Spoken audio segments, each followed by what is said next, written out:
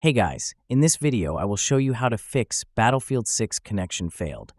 Alright, let's begin. First, open the Start menu and search for CMD. When it appears, select Run as Administrator. Once the command prompt opens, type the command ipconfig space slash flush DNS and press Enter. This clears your DNS cache, which can resolve many network connection problems. After running the command, restart your PC to apply the changes. If the issue continues after restarting, the next step is to check the server status. Open your browser and search for the EA server status page. Click the official page and look for Battlefield 6.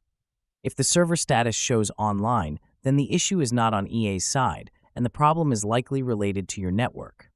If the status shows down or limited, then it means the servers are experiencing high load, especially since the game is new.